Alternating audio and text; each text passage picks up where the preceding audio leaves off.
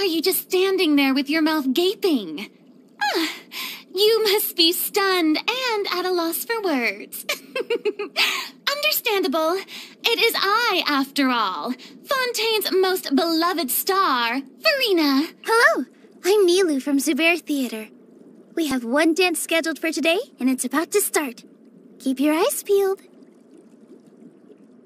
First, get into position like this. Then move like that. Yep, that's it. Don't you even care? You do know you're leading innocent people into danger, don't you? I won't allow it. She won't become like us. I don't want to fight, but you leave me no choice. Stop talking. It's time for a checkup. Please open your mouth. Hello. I think we have been acquainted. I'm responsible for your teeth. Every night you fall asleep. Exaggerate their fairy tale just so they could say they have royal roots, right? Uh, right? Oh, uh, I'm not feeling uh, just right. I am Briar Beauty, and I pledge to follow in my mom's footsteps and sleep for a hundred years. But before I do, I'm gonna live every minute!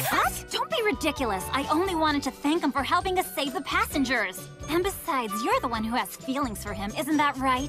Wake up, honey. Sometimes those feelings are only one-sided. Princess Dream is giving off very bad vibes. You probably can't tell because you're too dense. There, that should do it. this is strange. Hey, Rini, do you know if this battery's okay here? Uh, well, I made an eensy-weensy hole in your window. But don't worry, your temperature, it's not that absolutely necessary. Hello. Welcome aboard the Astral Express. My name is March 7th. I'm one of the passengers. We'll be working together. First, we need to take your induction photo. Did that scare you? Just a joke. I'm Sucrose, a researcher of alchemy. I heard you've been to a lot of places, so I was wondering if you...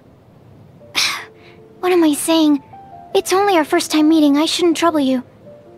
But if you're willing, I'd love to hear any stories you have about your adventures.